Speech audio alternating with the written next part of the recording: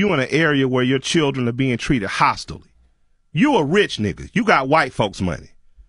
So you are not going to endure the same the hostilities that a working class black parent is who's living in Sumter, who's living in Atlanta I know my kids been called niggas. It's been hostile. It's been I didn't say call, being called niggas when your dad got a Ferrari just don't hurt as much. It's been, it's been, it's you know what I'm saying? Like, like, no, no, no, no. I'm very serious. no, for them, I'm just no, nigga in a because me and you always getting a good For argument, for but them, I'm nigga, you a rich nigga and you cannot take that away. And, and my question becomes this: with all the great education you got, you turned out to be a DJ and a real estate investor.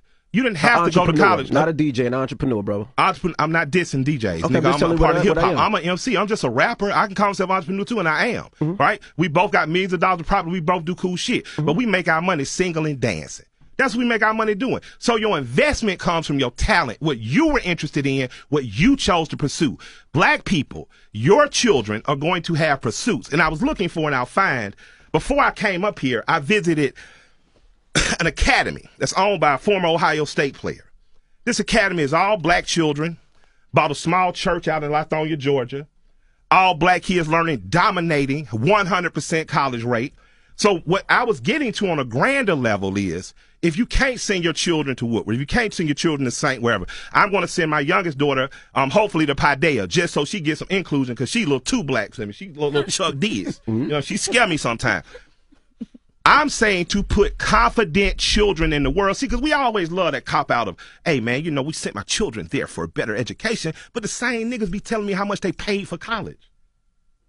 Your children ain't rewarding that by scholarshiping. You not you after you after you do them years, you not directing your children to Howard, not you.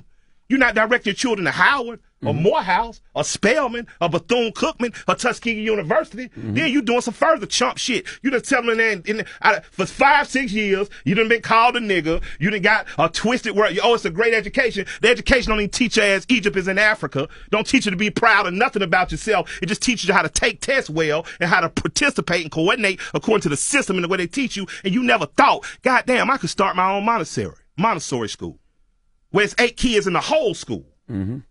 And I'm not saying this from because I heard this shit in some goddamn chump ass rhyme from a chump ass rapper. I own a third of a block Kanye. in Atlanta. and I I will, hold. The second block next to me was bought by five white people who didn't even know each other. And they started a Montessori school within three months.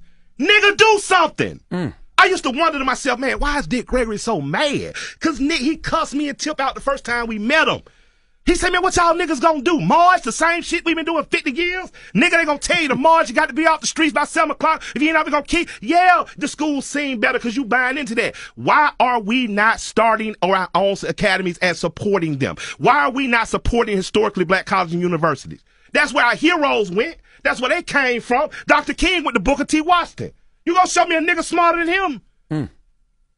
You understand what I'm saying? I don't have no problems with you loving your children. But my children go to public school. Because I pay taxes in public schools and they named for black people.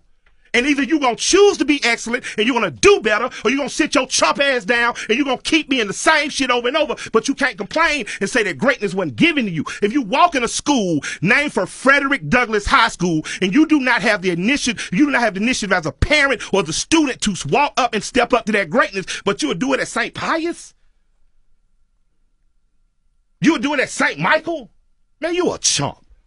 That's why what Now, I'm not talking about you. See, so you can sit here and say the chump shit all day long. I'm not right? talking about you. not I'm telling you, saying light skin. no, I'm getting your I'm feelings, but I'm not talking about you. I'm, I'm talking about working class people. You are. I'm talking again it's- it's about working that class a lot of people. Those public school teachers are not getting paid, are overworked, and some of them are not putting the effort out because there's some of them are, are the worst teachers in the country. I don't agree. I'm here to defend teachers. freaking You are full of shit. I- As I gotta disagree taxpayers, with that, too. as My- my mom is a public school Yeah, teacher. you I didn't full of shit. every. I You say full of shit. You I full of shit. My mom- my mom been a public school teacher for 30 years. Some Don't- don't DJs put whack. You not one of them. put Nah, get out of here my with that. mouth. That's wrong. That's to, to throw teachers under the bus is wrong. No, you are wrong. You're Yeah, you can't throw words in- public you're school not gonna teachers put- are wrong. You're not going to put words in my mouth. I said some public school teachers are there and they don't give it all, and some of them don't have the tools that the same schools that other schools have. Don't put words in my mouth. I don't put words in yours. Well, and that's thing. what I'm saying. He Hold mad on. So when it comes to, no, I'm not mad. I let you speak. I let you give your spiel. Me But and when- Envy when I always give had my these spiel,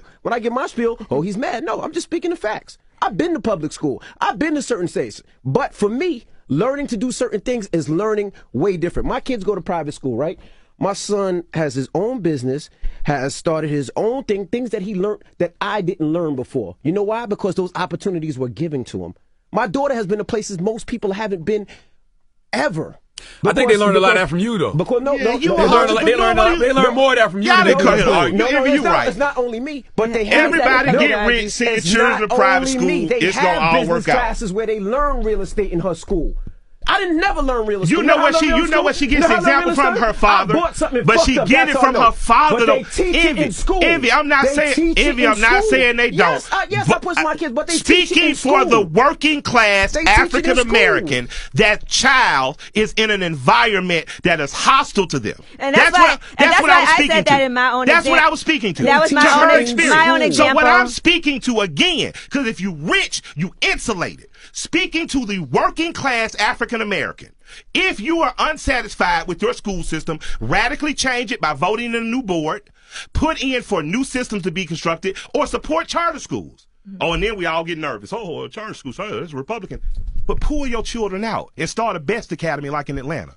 Or Or Diddy Coretta has Scott his King. charter school in, in Yeah, Harlem. and LeBron. Shout out to Diddy Yeah, and Steve that's Perry. all I'm saying, Jalen. Rose All I'm has his we charter got school. stop giving these Jalen, excuses to leave each other. We do the same. You, It's- me it's and you not make money, but excuses. people left the It's- hood. It's legit. Me- My it's father made legit. fifty thousand dollars. How the fuck was he going to start a charter school? Bruh. He did what he could. He took Who? me out of fucking Andrew Jackson. My father took me Nigga, out of I Andrew ain't going to Jackson. get your father I'm with talking about each other. Yeah, Yeah, I'm we with talking your about dad. each other. Oh, no, Well, I'm I'm- with your but- father. but I'm, I'm- talking. I'm I'm, not trying- talking about for you. What I'm saying is, in spite of all the education you got, your dream and your pursuit and your belief in the kid that you met when you told the story about meeting, um, meeting Clue. That's what brought you here. What brought you here is your own self invention, your own curiosity, your own mind. And in school, that's what it should be. I'm not sending my youngest daughter potentially to Paideia because it's a white school. I'm sending her because they actually go outside.